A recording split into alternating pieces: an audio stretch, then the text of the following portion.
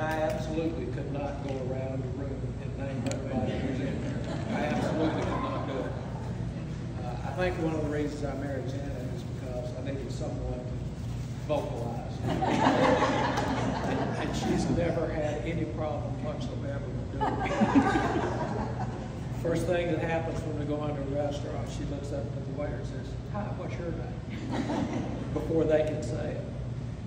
Uh, And I always tell her, when she comes back from talking to somebody, I say, well, okay, what's the firstborn's name and what's their dog's name?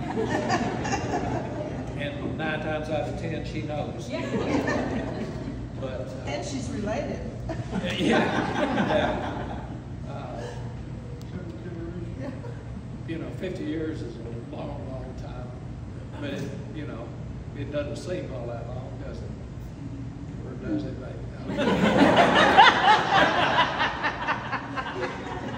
But, We just just, recently reconnected with Bruce and Cindy, and then they show up.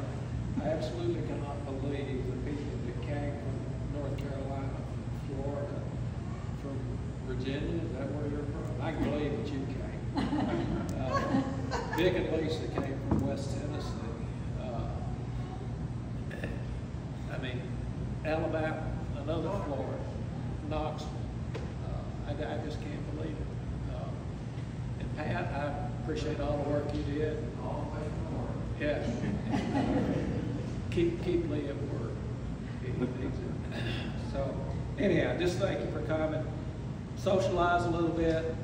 Be sure to go through the village. It is really a nice, a nice thing here. So, thank you, boys.